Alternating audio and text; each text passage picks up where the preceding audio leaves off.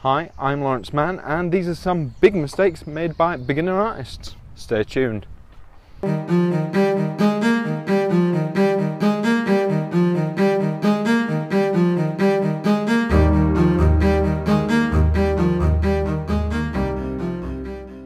Not spending long enough on the initial sketch. Now, yeah, you kind of want to rush into the painting in general. You know, you kind of want to rush into the the actual colouring, the fine detail of it, and unless you get the actual pencil work right, then you're just going to end up rushing the anatomy of it all, and the the actual finished piece is going to look really squiffy. So don't. Not spending long enough on the entire painting. Now I've heard a lot of young beginner artists saying, Wow, this took me ages. I spent like four days on this. It was crippling. Oh, it's like four days on a painting. Um, yeah, I've I've spent like two, three weeks on a painting, sometimes a couple of months. Um, you know, the great masters, uh, I'm sorry, it's really sunny now. Um, the great masters spent years, years on a painting, you know, like their entire lives on certain paintings really four days? You're kidding yourselves. Make sure that you zoom in and zoom out. In other words get close to your canvas and make sure that you step away from your canvas in equal measure. That goes for both digital artists and non-digital artists as well. Let's face it I see far too many beginner artists mm, not doing this and it really shows in in your art. Yeah it's pretty clear that there's either not enough detail or there's so much detail. And again going back to the idea that the initial sketch wasn't really good enough. Yeah so make sure that you're getting really close and backing away don't rely on custom brushes from Photoshop or ones you've downloaded for Photoshop. Believe me, they won't impress anyone other than your friends or people on DeviantArt. It's just not really that cool anymore. You know, it hasn't been for a few years. And yeah, it's that simple, really. Um, custom brushes do help out now and again on things like scales for dragons and little bits and bats, but ultimately, you know, you can't use them on every painting, and it's just that simple. Stick to good painting. If you can afford it, get yourself a Wacom Cintiq or another tablet with a screen built in. The difference is amazing between that and a normal digital drawing tablet. Really, it will make a massive difference to your art being able to draw directly onto the screen. I'm not lying, it is a real jump into your workflow and the speed at which you will be able to complete an art piece. Try it, it is amazing. Nom, nom, nom, There's a lot of advice out there for young artists that says don't use true black, stay away from it. Now, it kind of makes sense in some cases and it kind of doesn't. Um, it's a bit difficult to make sense of this one for a lot of people. And it can be difficult because if you stay away from true blacks, then you'll end up with a very flat painting that just kind of lacks substance and distance. And yeah you kind you need true black in your painting for it to have depth. It's that simple. Things that are close to you will have true black. Things that are further away from you as you can see now don't have true blacks in them. It's that simple you know, it all works. You can see now true blacks in the shadows here.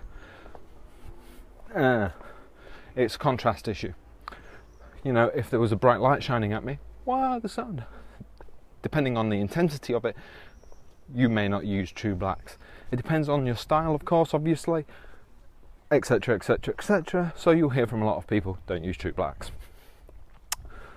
But you know, depends what you're painting. I would say yes, use true blacks. Don't be afraid of them. Go ahead, be silly. But I see a lot of flat paintings with no depth coming out because people have taken the advice not to use true blacks. Apparently, famous comic book artist Jim Lee was turned down by Marvel the first time round because his hands weren't good enough. Yeah, can you believe that? Jim Lee, like king of the comic book artists. Well, apparently that's true. I read it online and I saw the rejection letter. I think so, anyway. Um, yeah, could have been made up. Not by me, at least. But so make sure you get your anatomy right. This is a big thing by um, beginner artists. So, yeah, anatomy. Who knew, right? That's one of the biggest things, anyway. A lot of artists only seem to use one brush in the beginning for some odd reason, and it seems to be this dull, fuzzy, kind of large brush. I'm not sure why exactly, but there you go. Um, so use more brushes, experiment with the brushes, and play around with them. You know, whatever program you're using in, use more brushes use the best software that you can afford. I know that a lot of people use things like GIMP and other free software, but let's face it, the better and sooner you get trained in something like Photoshop, the better because it's got more tools. You don't want to get really good at something like GIMP or some other free software, and then once you start getting more and more professional, you have to learn how to use things like Photoshop. You are eventually going to want to use things like Photoshop why? Because it has more in it, more tools to use, and eventually, when you start using that, you'll become faster and better at using it, and your paintings will become better. And yeah, it's just that simple. That's why it's the industry standard. Things like Painter and Photoshop, you know, it's that simple. So if you can afford it, use it. And to be honest, it doesn't cost that much. Really, you know, ask for it for a Christmas present um, get a discount any way you can. You know, Photoshop is a monthly pay.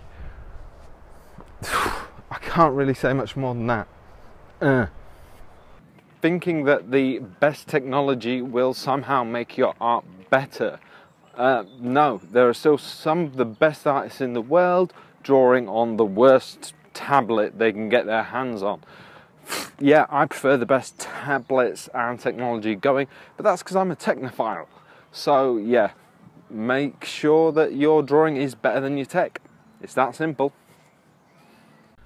Are you backing up your work enough? Apparently, a lot of beginner artists are not backing up their work enough. Who knows? Um, but yeah, apparently, this is a big mistake made by beginner artists that a lot of you are not backing up your work, making multiple backups, keeping them on multiple drives.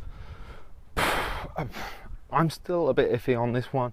Mine is a bit spotty, but I do have multiple drives of my finished work or backed up, especially client work.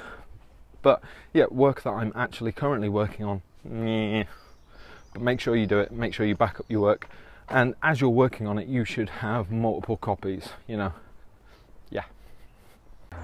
For me, one of my personal bugbears is when beginner artists put little paint dabs on the artwork. You know, oh, this was the two or three different skin tones that I used in my painting. It's just like, do we really need to see that? I can see that on the face. You know, I don't, it doesn't look professional, it doesn't look cool. It, it was done kind of in the 90s, and for some reason, some artists have decided to continue that on now it's done more in anime and manga circles, and I think stylistically, you know, yeah. Artists who are, think they're done learning, but are not, obviously. Um, I'm not done learning. A lot of artists aren't done learning. No artist is ever done learning. But for some reason, some artists seem to think they are done learning. I don't know what it is. You're never done learning. Picasso, for instance, when he became an old gentleman, started a crazy style of painting that made him the famous man he is today. Now, he, in his younger years, painted more like one of the old masters that we all know and love. I'm not a fan of his new style, but the reason he started painting like that was because he was exploring art. Now, that's what I encourage each and every one of you to do, but for some reason, a lot of younger artists seem to think they have stopped learning because they know absolutely everything. Uh-uh. wrong. Learn to handle criticism. Um, a lot of artists just starting out can't handle criticism, don't want to show off artwork to anyone they know, any of their peers. Putting it on DeviantArt is not asking for criticism, especially not when you can delete a comment that you don't like. By asking for criticism, I mean showing it off to artists that are your superiors, by showing it off to critics who know what they're talking about, um, by showing it off to valued members of the art world, so to speak. People who may want to buy your art, people who know about anatomy. Yeah, go and seek real critique of your work. And don't be upset when people actually give you criticisms that you don't like.